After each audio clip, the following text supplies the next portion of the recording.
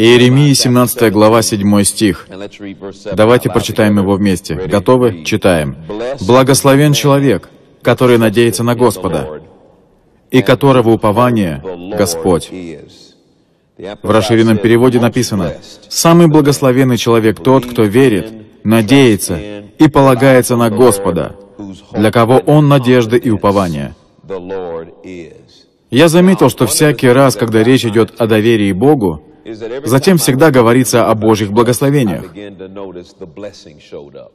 Мы узнали, что доверие служит неотъемлемым атрибутом успеха. В тот момент, когда мы ставим Бога на первое место, полагаемся на Него, доверяем Ему, зависим от Него более всего остального, в этот момент Он приходит нам на помощь. Благословение приходит в нашу жизнь. А как вы помните, благословение — это способность добиться успеха в любом деле. И оно проявляется в жизни человека, который знает, как доверять Богу. Доверие — это верный путь к радостной и успешной жизни. Доверие — это верный путь к подлинной свободе. Всегда есть искушение положиться и понадеяться на кого-то еще. Однако, когда мы поймем ценность доверия Богу более всего остального, научимся полагаться на Него и всегда в первую очередь обращаться к Нему, мы можем смело рассчитывать на то, что Он благословит нас за наше упование. Давайте прочитаем 33-й Псалом. 33-й Псалом. 9 стих. 33-й Псалом, 9 стих. Я не устаю повторять, что нас ждет последнее испытание. Мы стоим на пороге большого сражения. Нам предстоит что-то значительное. Пришло время стряхнуть пыль со своей веры и убедиться, что мы знаем, в кого уверовали. Псалом 33, 9 стих. «Вкусите и увидите, как благ Господь. Блажен человек, который уповает на Него». И снова мы видим, что Бог дает успех тем, кто полагается и уповает на Него, кто доверяет Ему. Далее, в 23 стихе мы читаем, «Избавит Господь душу рабов своих, и никто из уповающих на Него не погибнет». Никто из уповающих на Бога не будет осужден и признан виновным. Из тех, кто положился и уповает на Бога, кто доверяет Ему. И снова мы видим то же обетование, которое дано тем из нас, кто положился на Бога.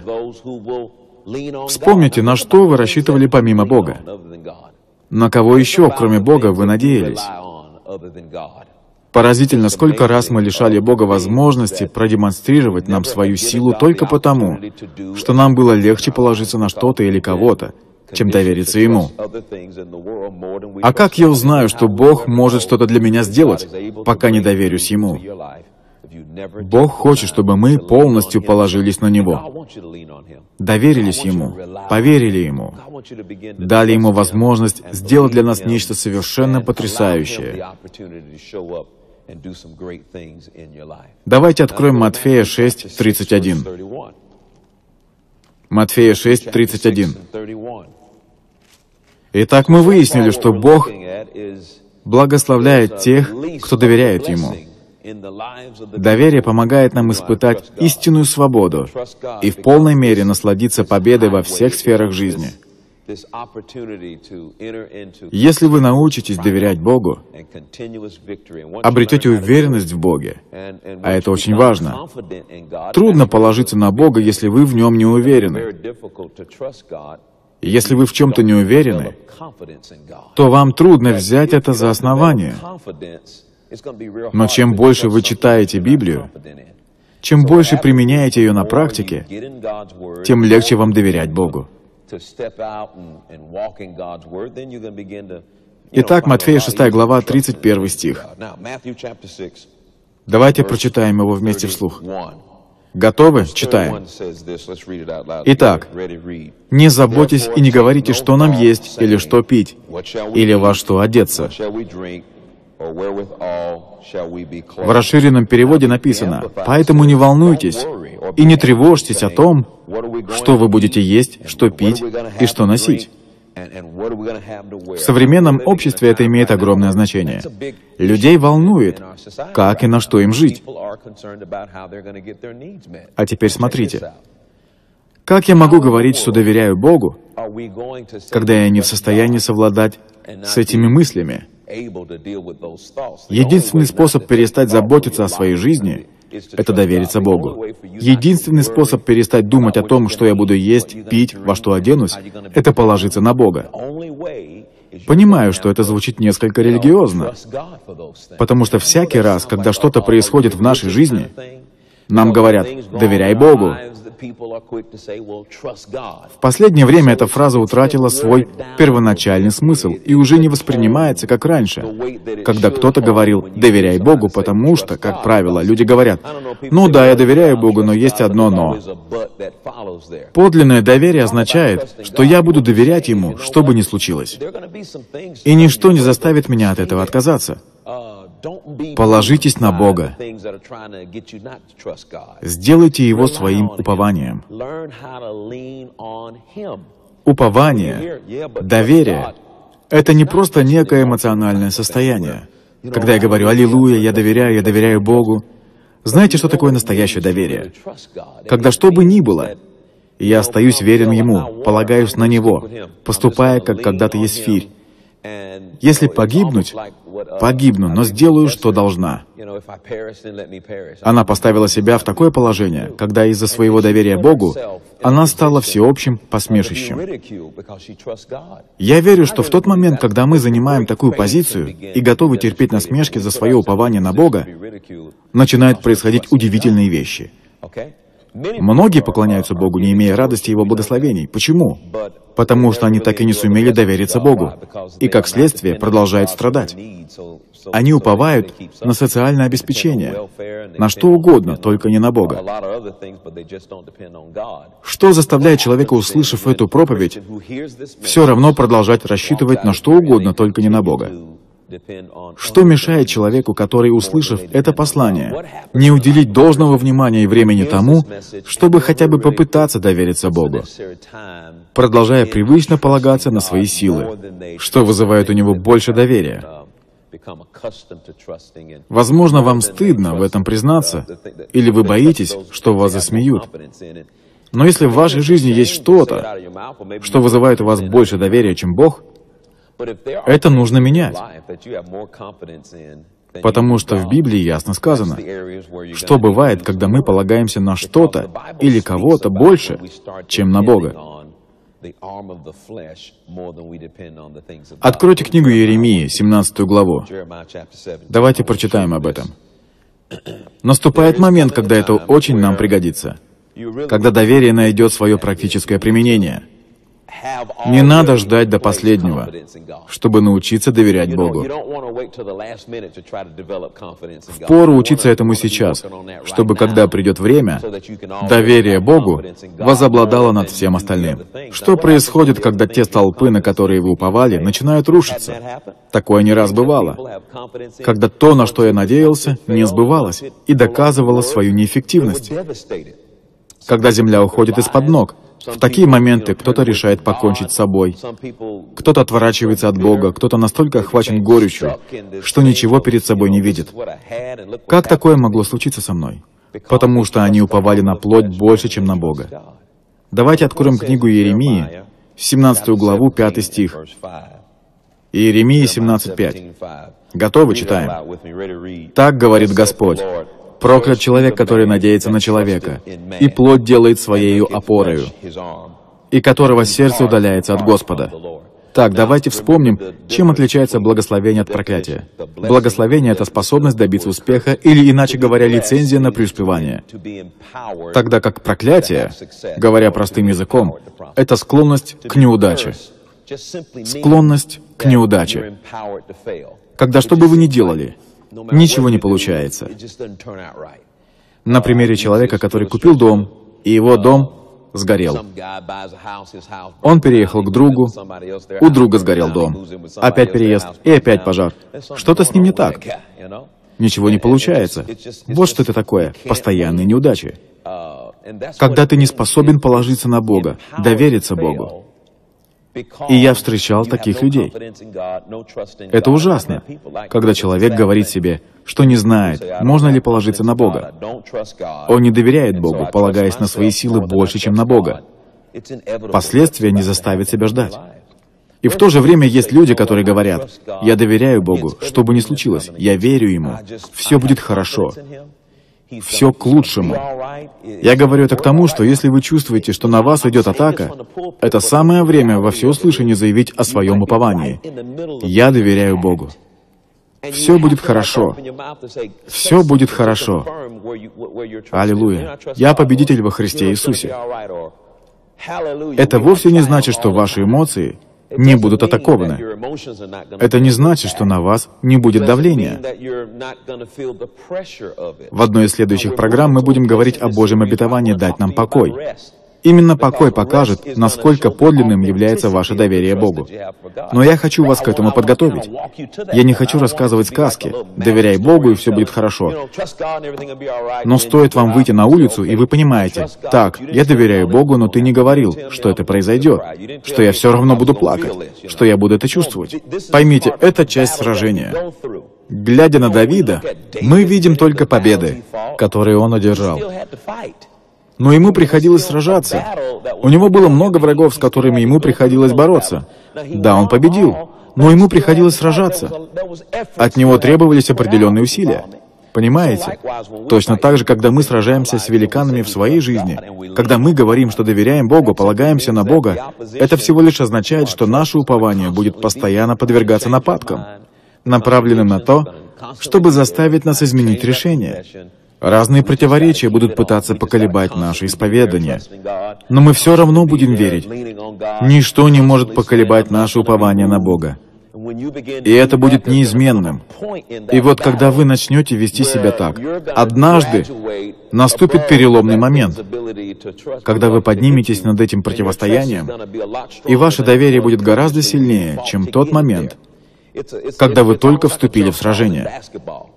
Это подобно броску в баскетболе, когда вы в прыжке ловите брошенный мяч. Это предполагает действие. От вас требуется усилие, чтобы научиться доверять Богу. Или вы можете сказать, видишь ли, даже не знаю, сложно все это, лучше синица в руках, чем журавль в небе. Но потом, когда наступит время по-настоящему довериться Богу, вы не сможете это сделать, потому что вам не хватило практики. Вы так этому и не научились. Доверие не выросло. Потому что гораздо легче поступить по мирским меркам и полагаться на человека больше, чем на Бога. Тогда как сам Бог в Писании говорит, что проклят тот, кто надеется на человека. Слава Богу за врачей. Я доверяю их профессиональным навыкам, но не больше, чем Богу. Почему? Потому что врач тоже человек. А это значит, что он может ошибаться. Он может поставить ошибочный диагноз. И вообще лечить не от того. Я не могу доверять этому человеку. Несмотря на то, что он профессионал в своей области. Не могу доверять так, как я доверяю Богу. Всякий раз, идя к врачу, я доверяю Богу в том, что Он даст ему мудрость, благословит его руки, направит его мысли. Таким образом, в первую очередь, я доверяю Богу, не банкирам. Люди в миру, не знаю, как вы, а люди в миру слишком полагаются на банковскую систему и тому подобное. Нет, я полагаюсь на Бога. Он скажет, что мне делать, когда забрать деньги из банка. Он сохранит мой банк, или я не буду сидеть и надеяться на банк. Банки сегодня есть, а завтра их нет. На них нет никакой надежды.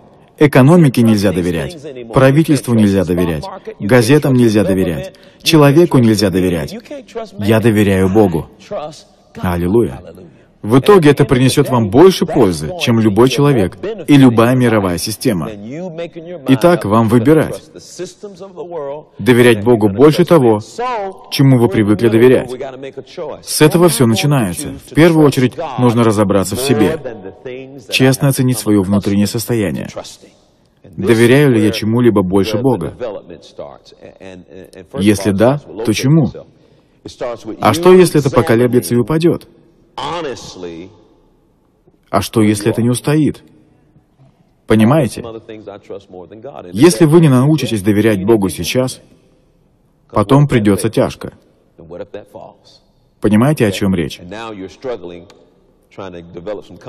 Дальше. Откройте 124 Псалом. 124 Псалом. Прочтем с первого стиха. Это поможет нам лучше понять, что от нас требуется, чтобы научиться доверию. 124 Псалом. Здесь сказано, «Надеющийся на Господа, как...» Итак, здесь мы видим что-то, с чем мы можем свериться, взять в качестве примера, образца для подражания. Надеющийся на Господа, как гора Сион. На что это похоже? Не подвигнется, пребывает вовек. Что способно поколебать ваше упование на Бога? В Библии сказано, «Надеющийся на Господа, как гора Сион». Их невозможно сдвинуть с места. Если вы колеблетесь, это свидетельствует о том, что вы не доверяете Богу. Если кто-то может повлиять на вас, если деньги или обстоятельства способны заставить вас поколебаться, это говорит о том, насколько вы доверяете Богу. Надеющийся на Господа не подвигнется. Он не испугается, узнав о страшном диагнозе. Он не отступит от Бога из-за боли. Он не усомнится, даже потеряв все. Он не подвигнется, когда все против него. И, казалось бы, Бог далеко. Он не подвигнется. За свое упование он получит семикратное воздаяние или даже больше, потому что Бог всегда воздает кратным благословением тем, кто доверяет Ему. Это покажет. Легко сказать «я доверяю Богу». Доказательством доверия служит «буду я как гора» или как лист, поднимаемый всяким ветерком, в то время как гору не поколебать. Давайте скажем, я как гора Сион. Меня не поколебать. Тогда как враг только этим и занят. Его цель — поколебать вас. Он хочет посеять в вас страх, заставить смотреть на то, что творится вокруг. Его задача — поколебать вас.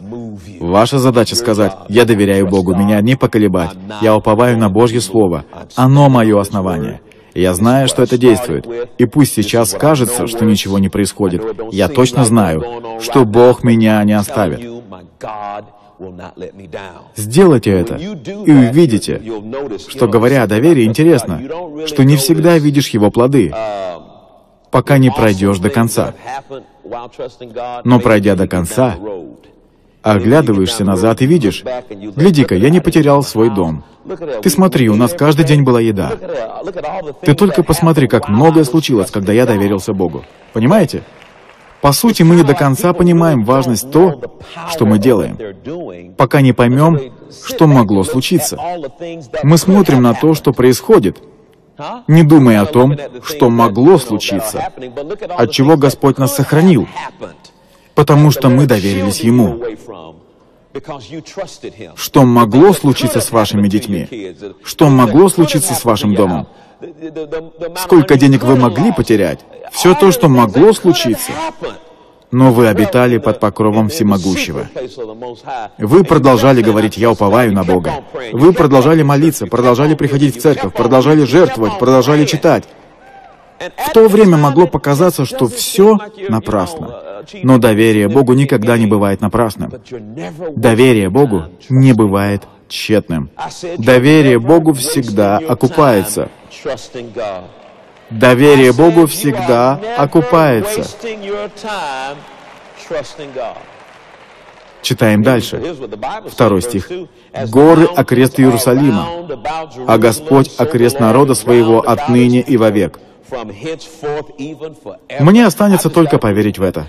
Поверить в то, что Господь окружил меня своей защитой, своими ангелами, своей любовью и благодатью. И когда что-то атакует меня, я должен напомнить себе о том, чем обладаю и на кого уповаю. Аллилуйя. Я опираюсь на скалу. Я опираюсь на того, кто никогда не поколеблется. Понимаете? Далее в третьем стихе сказано, «Ибо не оставит Господь жезла нечестивых над жребием праведных, дабы праведные не простерли рук своих к беззаконию». В расширенном переводе сказано, «Ибо не вечно жезлу неправедному править в земле тех, кто утвердился в праведности, дабы праведники, Божий народ, не простерли руки свои к беззаконию и отступничеству». Таким образом, Бог предостерегает тех, кто не знает, в ком его упование, говоря, грешник никогда не будет править в вашей земле, в вашей жизни, в вашей семье. Не бывать этому, если только вы сами этого не захотите. Речь о власти, о том, что нам делать, если грешники ополчатся против нас. Не надо сидеть и молчать. Используйте свою власть. В Библии сказано, «Ни одно орудие, сделанное против тебя, не будет успешным, и всякий язык, который будет состязаться с тобою на суде, ты обвинишь». Это есть наследие рабов Господа. Оправдание их от меня, говорит Господь. Если мы не применяем власть, чтобы произнести это, поверить в это, положиться на Бога, довериться Слову, поступить по Слову Божьему, то вам нечего рассчитывать на результат. Дьяволу не должно быть места в вашем доме, в ваших отношениях с женой и детьми. Примените свою власть. Какая бы ни была ситуация, опирайтесь на Слово. Я доверяю Богу. Я доверяю Богу. Глядя на своих детей, скажите «Аллилуйя, Божья воля исполнится в вашей жизни». Глядя на свои деньги, говорите «Деньги приходят, деньги приходят». Друзья, послушайте меня. Послушайте меня. Слава Богу. По пути сюда я поймал себя на том, что когда я ехал мимо небольшой шашлычной, которая расположилась в новом торговом центре, я посмотрел на нее и подумал, ну, эти скоро разорятся. Я тут же спохватился. Что ты такое говоришь, ты только что их проклял. Ты ведь их совсем не знаешь. И ты только что произнес проклятие разорения. Я тут же повернулся и сказал, «Я благословляю их, у них все будет хорошо». Для меня стало непривычным, проходя, проклинать людей. Это говорит о том, что я стал более внимателен к этому. Я не то, что говорить, думать об этом не хочу. Но мне пришлось заставлять себя думать, что своим языком я призван благословлять, а не проклинать. Я прихожу домой и каждый вечер ставлю себе оценку. «О, сегодня я проклял этого, этого и этого». Проклятие. Я не говорю о сквернословии. Для того, чтобы проклясть человека, достаточно сказать о нем плохо. Благословляя, мы произносим в адрес человека добрые слова. Должен сказать, что когда вы начнете следить за словами, не скажу, что вы сразу же перестанете это делать, но, по крайней мере, когда вы начнете это делать, вы будете это понимать. В этот момент вы будете чувствовать обличение, и скоро вы поймете, что нужно за собой следить. Вы знаете, я тут подумал, а что-то я все время еду мимо да мимо. Дай-ка я заеду, куплю себе гамбургер, и буду для них благословением. В этом сила верующего. Мои уста призваны благословлять, а не проклинать. Не может из одних уст выходить и благословение, и проклятие. Мы об этом читали. Но это становится реальностью, когда мы оцениваем это в свете своих повседневных дел. Также и с доверием. Вы столько раз слышали «доверяй Богу, доверяй Богу, и все будет хорошо, просто доверься Ему, положись на Его Слово». Пришла пора в этом разобраться и понять, что же такое доверие. Дальше. Давайте откроем Марка, 10 главу.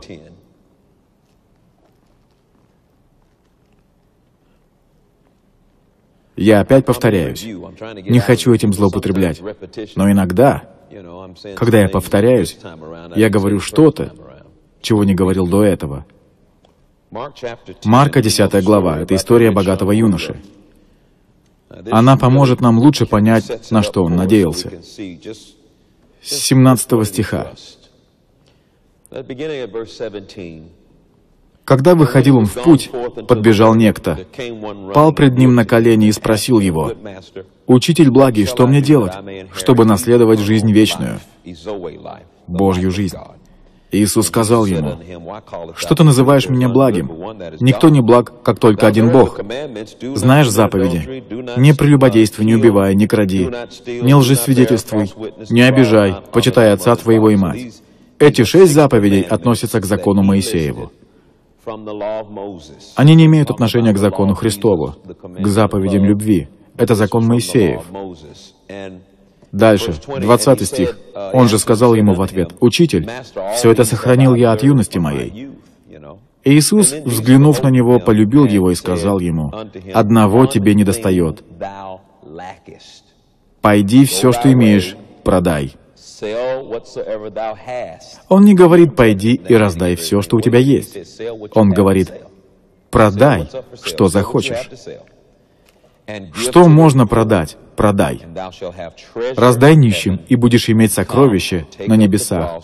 И приходи, последуй за мной. В расширенном переводе написано «Приходи, сопровождай меня на моем пути». 22 стих. Он же, смутившись от всего слова, отошел с печалью, потому что у него было что? Что? Большое имение. И, посмотрев вокруг, Иисус говорит ученикам своим, «Как трудно имеющим богатство войти в Царствие Божье». Ученики ужаснулись от слов Его. Но Иисус опять говорит им в ответ, «Дети, как трудно надеющимся на богатство войти в Царствие Божье» то есть поступать, как велит Бог. Он имеет в виду, что этот человек надеялся, уповал, полагался, рассчитывал на свое богатство больше, чем на Бога. Марка 10 глава — это история богатого юноши. Она поможет нам лучше понять, на что он надеялся. С 17 стиха. Когда выходил он в путь, подбежал некто, пал пред ним на колени и спросил его, «Учитель благий, что мне делать, чтобы наследовать жизнь вечную, Божью жизнь?» Иисус сказал ему, «Что ты называешь меня благим? Никто не благ, как только один Бог. Знаешь заповеди? Не прелюбодействуй, не убивай, не кради, не лжесвидетельствуй, не обижай, почитай отца твоего и мать». Эти шесть заповедей относятся к закону Моисееву. Они не имеют отношения к закону Христову, к заповедям любви. Это закон Моисеев. Дальше, 20 стих. Он же сказал ему в ответ, «Учитель, все это сохранил я от юности моей». Иисус, взглянув на него, полюбил его и сказал ему, «Одного тебе не достает. Пойди все, что имеешь, продай». Он не говорит «пойди и раздай все, что у тебя есть». Он говорит «продай, что захочешь». Что можно продать? Продай. Раздай нищим, и будешь иметь сокровище на небесах. И приходи, последуй за мной. В расширенном переводе написано «Приходи, сопровождай меня на моем пути». 22 стих. «Он же, смутившись от всего слова, отошел с печалью, потому что у него было что? Что? Большое имение. И, посмотрев вокруг, Иисус говорит ученикам своим, «Как трудно имеющим богатство войти в Царствие Божье». Ученики ужаснулись от слов Его. Но Иисус опять говорит им в ответ, «Дети, как трудно надеющимся на богатство войти в Царствие Божье» то есть поступать, как велит Бог.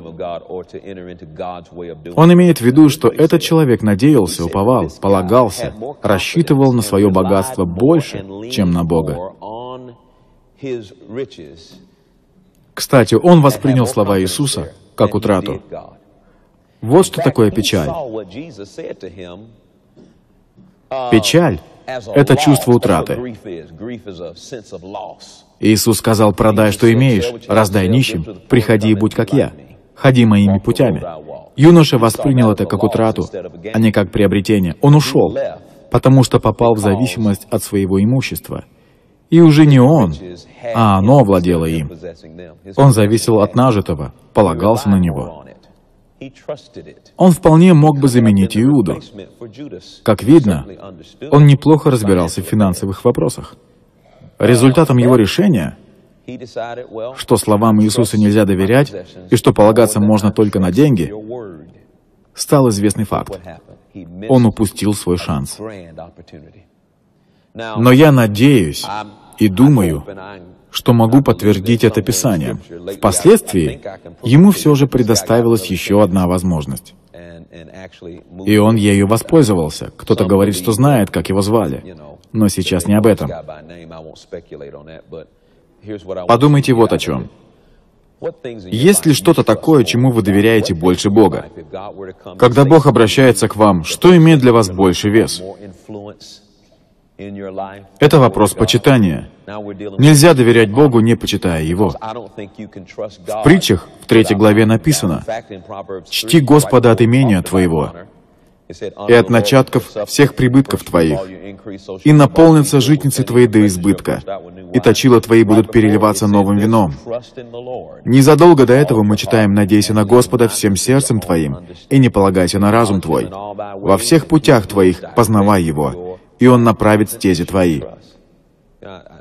Это касается доверия. Можно говорить, что я доверяю Богу. Но если присмотреться, все не так. Мы всем своим видом показываем, что доверяем Богу, но на самом деле это не так. Это видно потому, как мы живем. Но когда мы по-настоящему доверимся Богу, для чего я и проповедую об этом, и станем, наконец, той горой, которую не свернешь, когда решения, которые мы принимаем, будут показывать наше доверие Богу, когда мы начнем больше доверять Богу. Вот что я пытаюсь до вас донести. По крайней мере, начните как-то двигаться в этом направлении, чтобы когда наступят трудные времена, вы не скажете «куда уж хуже». Будет хуже, если мы не научимся доверять Богу, продолжая уповать на что угодно, только не на Бога. Мы должны это уяснить. И одно, на что мы с такой легкостью полагаемся, это деньги. Многие люди так привязаны к своим деньгам. Бог не благословит таких людей, потому что это навредит им. Как только вы полагаетесь на свои деньги, Бог забирает их настолько, что вам не остается ничего, кроме как доверить свое пропитание Богу. Бог не потерпит конкурентов. Написано, не можете служить Богу и мамоне. Давайте вам покажу кое-что. Притча 11 глава, 28 стих.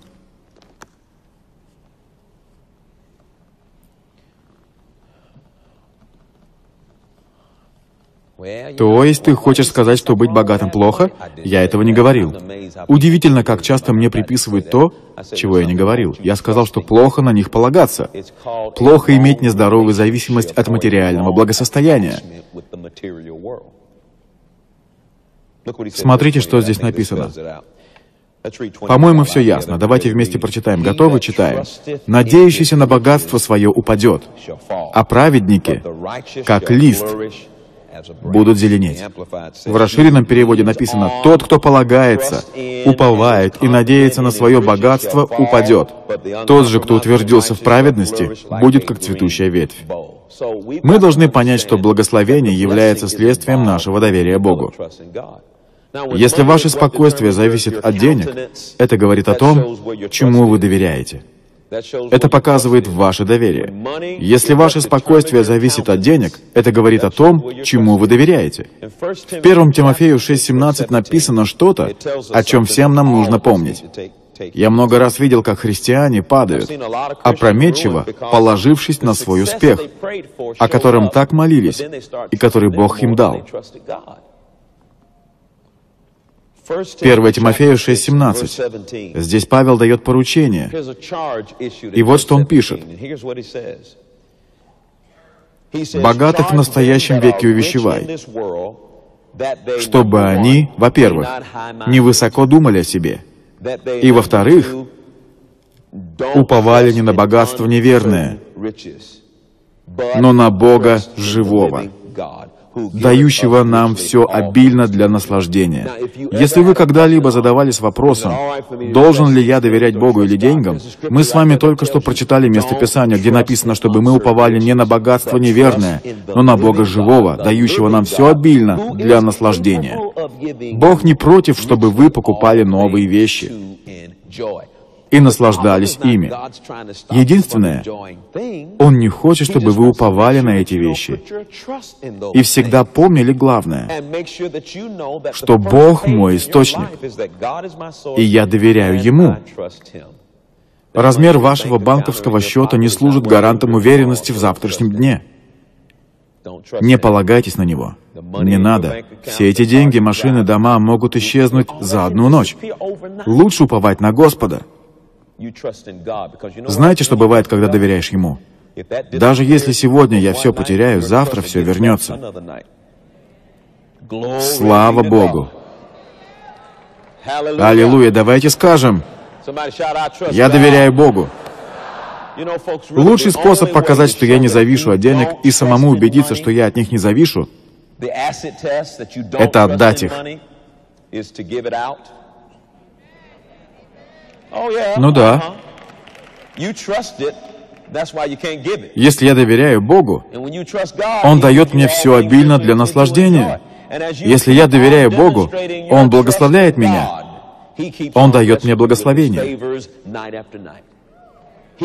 Но часто мы полагаемся на свой кошелек больше, чем на Бога.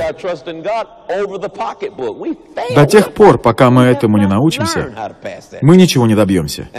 А научиться этому можно только «Я доверяю Богу». Бог говорит «Дай мне 10 долларов». «Ой, что ты, я так не могу». Дело не в том, что Богу от вас что-то нужно. Поймите, в большинстве случаев, когда Он что-то просит у вас, Он делает это для того, чтобы дать вам возможность показать, насколько вы доверяете Ему, чтобы Он мог благословить вас и дать вам что-то лучшее. Но почему-то мы так этого боимся. Одна женщина очень разозлилась на меня после одной из моих проповедей. Она посмотрела ее по телевизору, я говорил о десятине. Она написала мне гневное письмо, в котором возмущалась, что я называю христиан, которые не дают десятину, плохими. Начнем с того, что я не называл таких христиан плохими. Непослушными, да, но не плохими. Как вы можете так говорить в это трудное для нас время, когда экономика страны переживает такой трудный период? Да вы поверить не могу, что вы такое говорите. Я всем о вас расскажу. Раньше я была вашей поклонницей. А все потому, что ее обидело откровение о самой себе. Она поняла, что доверилась деньгам больше Бога. И она не одинока. Да ты только для себя стараешься. Ну что тут скажешь? Я молюсь за нее. На самом деле она хорошая. Но я себя не защищаю. Многие мои друзья ей написали, призывая ее не вносить смущения в церковь. Все, кто в здравом уме, и так знают, что десятина — это по-библейски. Ну что ж, лучше они, чем я. Аминь. Откройте 31 главу книги Иова. Книга Иова — старая добрая книга. Да-да, я доверяю Богу.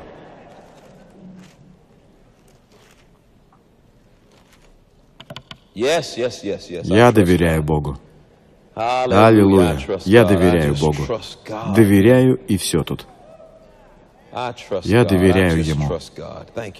Спасибо, Господь. Аллилуйя. Мы победители. И так будет всегда. Что бы там ни было, мы победители. Я доверяю Богу. Слава Богу. Иова 31, 24. Смотрите, что он говорит. «Полагал ли я в золоте опору мою, и говорил ли сокровищу, «Ты надежда моя»?» Смотрите, Иов проверяет, чист ли он перед Богом, не забыв упомянуть о том, что он никогда не надеялся ни на золото, ни на драгоценности. Полагаясь на что-то, помимо Бога, человек становится предателем. Оценивая свою жизнь, он спрашивает себя, уповал ли я когда-нибудь на золото или драгоценности? И приходит к выводу, что нет, такого никогда не было. 111 Псалом.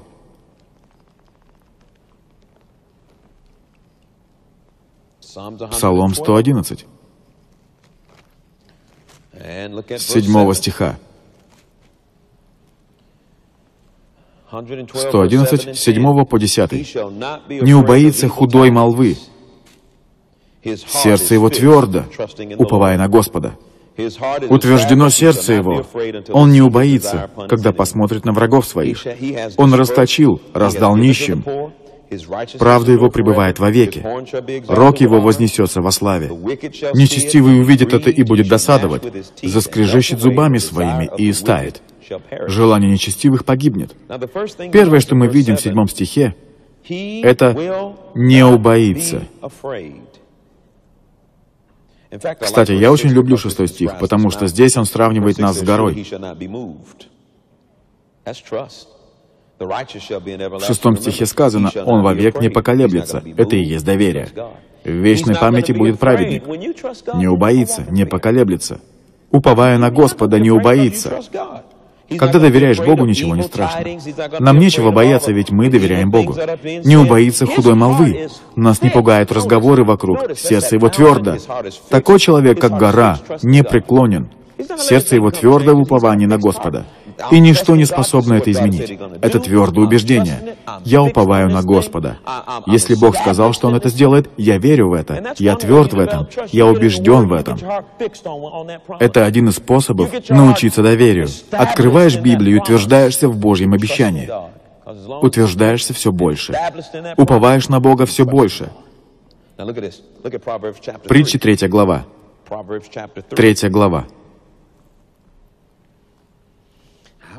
И зачем столько стихов? Вообще-то это библейские знания.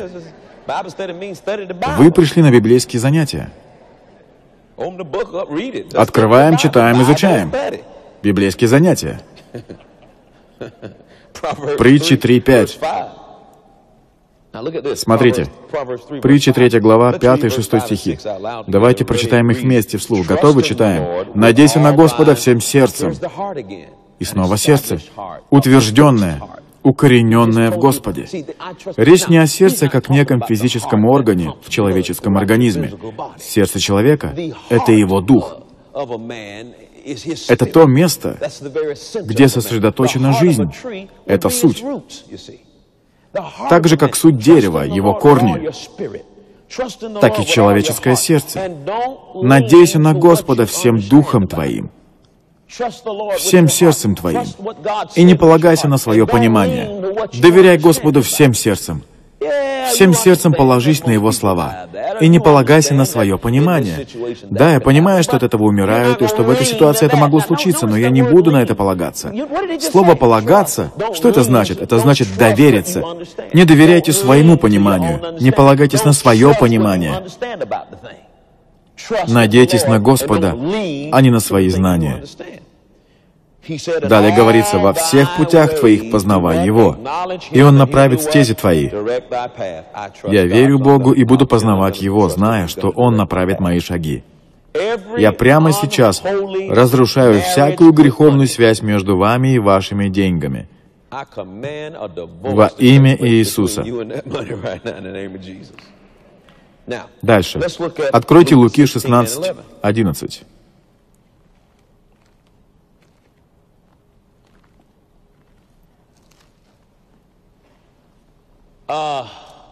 Как же это Господь мне сказал? Он сказал, чтобы быть жадным, не нужно много денег.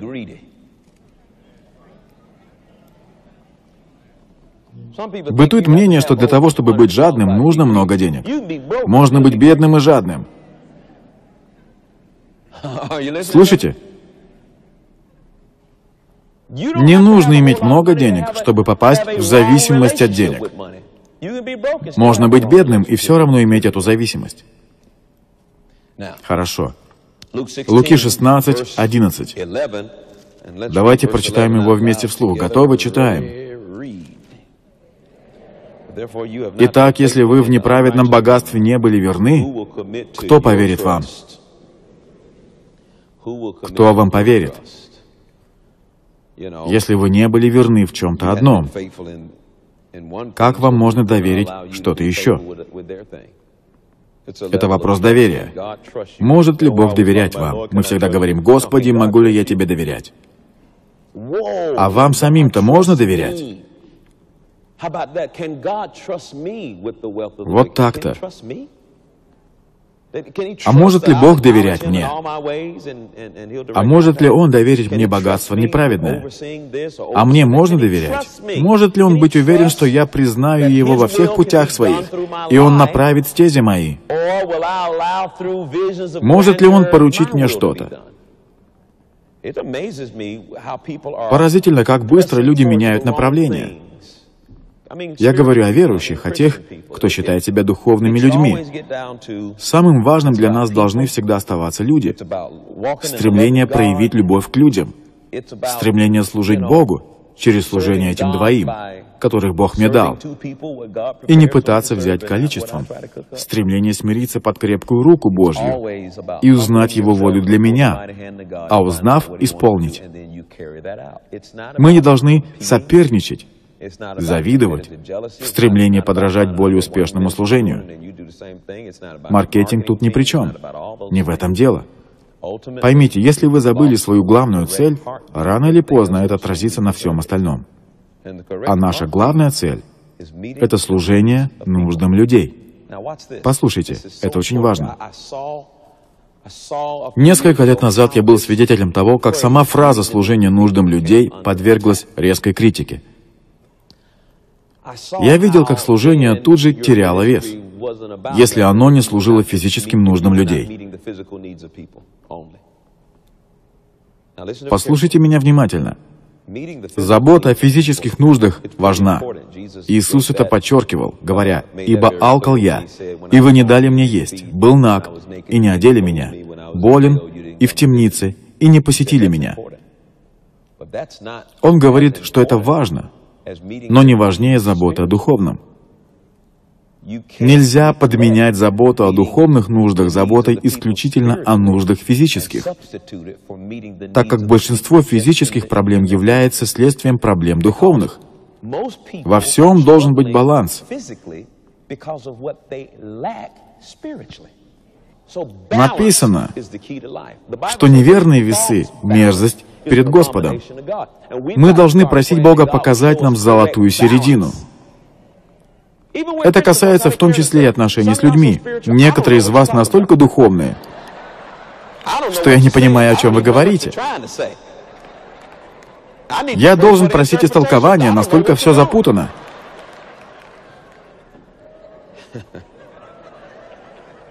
Давайте скажем, во всем должна быть соразмерность.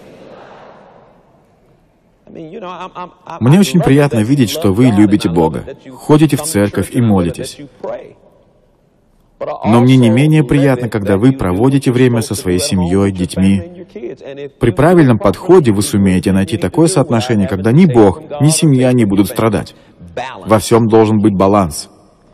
Мы должны стремиться найти золотую середину во всех сферах своей жизни. Говоря о доверии, и здесь без этого никуда. Я встречал людей, которые ничего не делали, кроме как доверяли Богу. А ты ищешь работу? Нет, я буду доверять Богу. Может, стоит хотя бы поставить объявление, поискать работу? Нет, Господь мне все даст. Когда сочтет нужным. Понимаете, о чем я? Пришло время опуститься с небес на землю. Так не бывает. Помните, что написано? Вера без соответствующих поступков, что? Мертва. В этом стихе подчеркивается важность действий обеих сторон. Да, я доверяю Богу, я верю Ему, но при этом я иду и делаю то, что должен делать. Доверяя Ему, я иду и делаю то, о чем я Его просил. Итак, Продолжая тему денег. Причина, по которой христиане переживают кризис в том, что они не верят, что Бог может о них позаботиться. Псалом 19, стихи со 2 по 10. Мы читаем, что когда я приношу Ему жертву, я должен верить, что Он мой источник. 19 Псалом. Аллилуйя! Я доверяю Богу.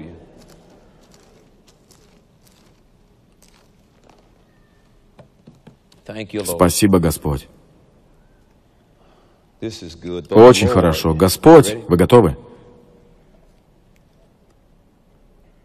Да услышит тебя Господь в день печали. Это прекрасно.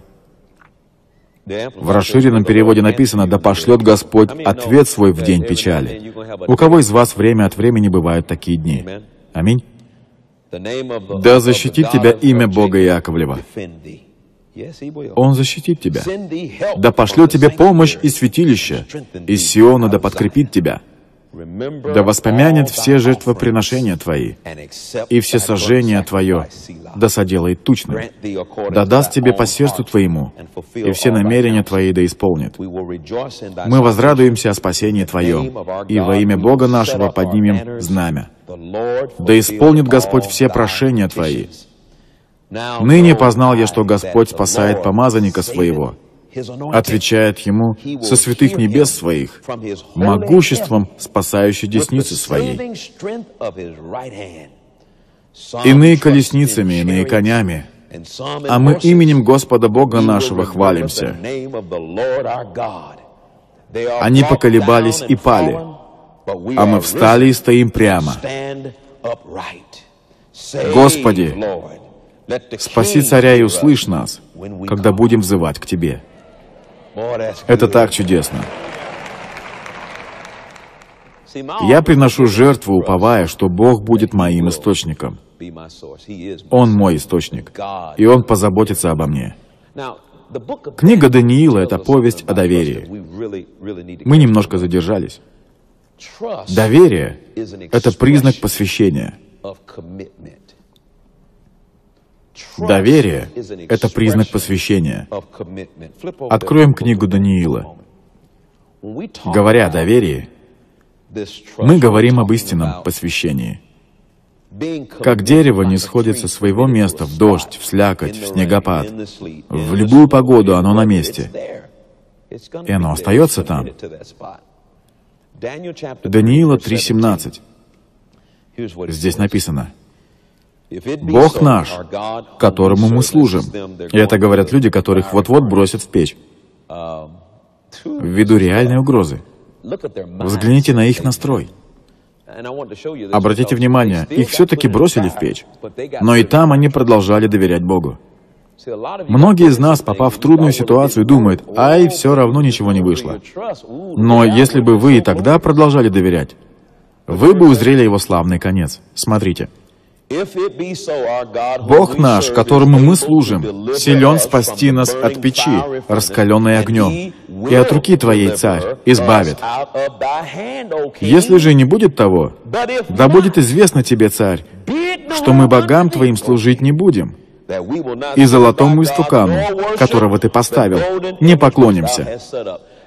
Они в один голос заявили, мы уповаем на Бога, и не поклонимся ни Тебе, ни кому другому. Господь избавит нас от руки Твоей, но имей в виду, что если вдруг нет, мы все равно не поклонимся. и не отвратимся от своего упования. Поймите, это и есть война, когда все пытаются сломить вас. Поразительно, сколько раз мы лишали Бога возможности что-то для нас сделать и показать себя нам, потому что нам было куда проще положиться на что-то в миру, чем довериться Богу. А понять, что Бог может что-то для меня сделать, можно только положившись на Него. Бог хочет, чтобы мы положились на Него, чтобы доверились Ему, чтобы мы поверили Ему, доверились Ему и дали Ему возможность сделать для нас нечто потрясающее. Давайте откроем Матфея 6, 31. Итак, мы выяснили, что Бог дает свое благословение тем, кто доверяет Ему.